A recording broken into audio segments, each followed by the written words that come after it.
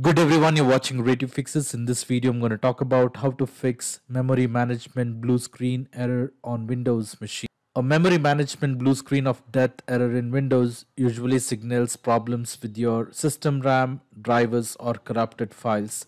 So here is a structured approach to resolve this issue. Now the first step to resolve this issue is to go ahead and disconnect all external device and restart. Unplug all USB devices, printers and other peripherals. Restart your PC to rule out external hardware conflicts. Once you restart your computer, check if your issue has been resolved. In case if your issue has been resolved after disconnecting all external device, it is an indication that any of your external device is causing a problem. So you might want to try divide and conquer method to identify what device is causing a problem. Once you identify the device, replace the device. Now, in spite of disconnecting all external device and if you're still facing a problem, the next method to resolve this issue is to update Windows and device drivers.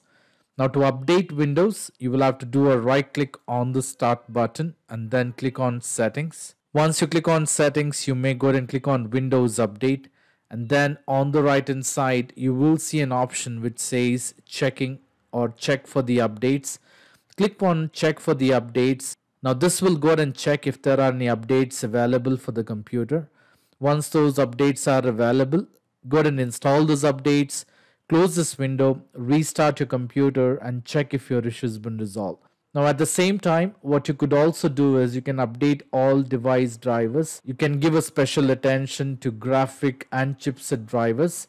To do this, you will have to do a right click on the start button and then click on device manager. In case if you get a user access control prompt, you may click on yes or continue on the screen.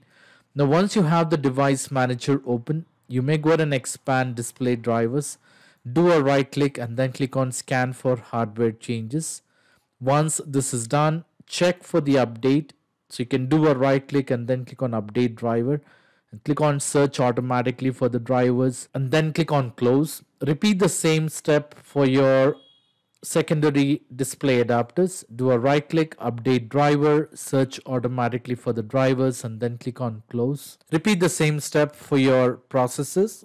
So you can do a right click and click on check for hardware changes. And then try to update the driver for your processor. You can do a right click and then click on update driver click on search automatically for the drivers and then click on close Repeat the same step in case if there are any sub processes listed here.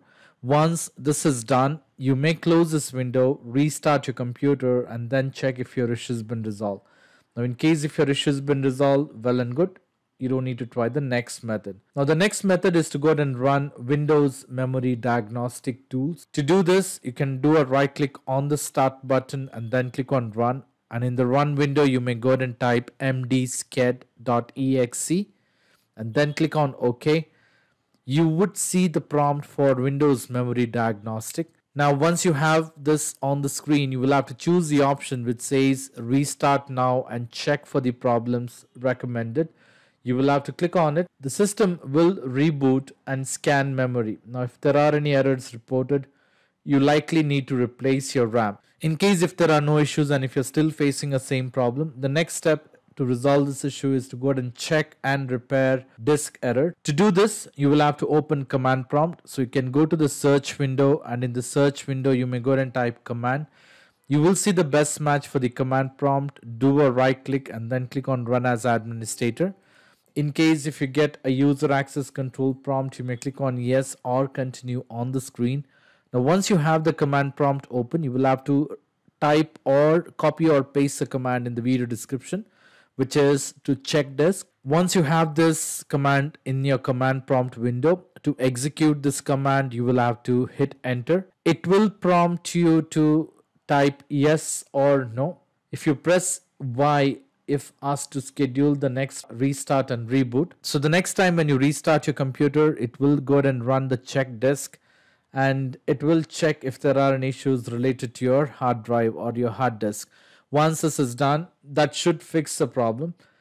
Now, in spite of trying all this step, and if you're still facing a problem, the next step, what you could do is you can go and re repair your system files by running an SFC scan or a disk management tool. Now, to repair the system files, you will have to go to the search window and in the search window you may go ahead and type command you will see the best match for the command prompt do a right click and then click on run as administrator in case if you get a user access control prompt, you may click on yes or continue on the screen. Once you have the command prompt open, you will have to go ahead and copy and paste the command from my video description or you can type the command manually. To execute this command, you will have to go ahead and hit enter. That will go ahead and run the image servicing and management tool on the computer. So you will have to wait until the command is being executed successfully.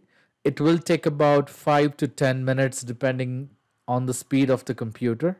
Once this tool has been successfully executed, you will have to execute the second command to run as SFC scan.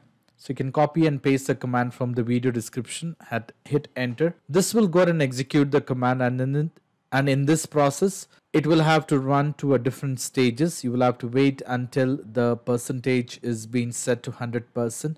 Once the scan is complete, you may close this window, restart your computer. So basically what these commands will do is they will go ahead and repair the corrupted system files which might trigger the blue screen of death.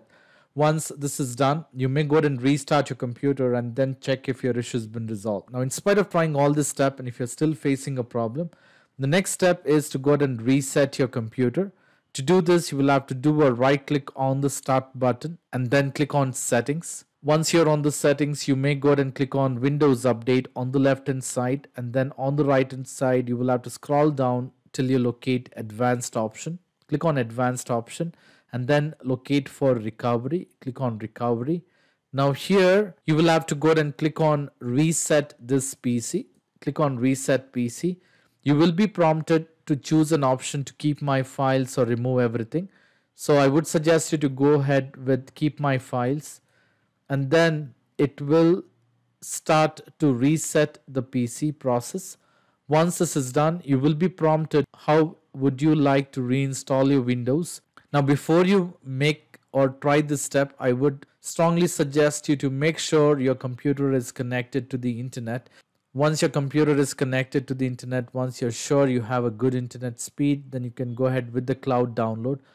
Click on it and then follow the step-by-step -step instruction. Now this process will take about a 30 to 45 minutes depending on the speed of the computer and speed of the internet. Once this is done, your computer will be prompted to restart.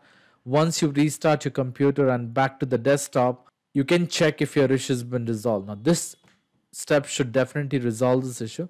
In spite of trying all this step and if you're still facing a problem, I would suggest you to leave me a comment in the comment section so that I can come up with the possible solution. I hope this video was useful. In case if you like this video, please make sure to hit the like button and do not for forget to subscribe to my channel.